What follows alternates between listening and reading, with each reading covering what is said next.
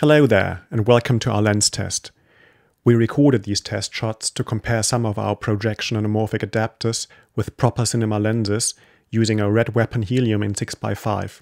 Please keep in mind the shootout was a really long day for us, so not all lenses are perfectly tuned, a few shots are a bit misaligned, and some test shots with a grid are missing. Please have a look at the description for some more details. We hope there's a bit of valuable information for everyone. Thanks for tuning in and enjoy the test.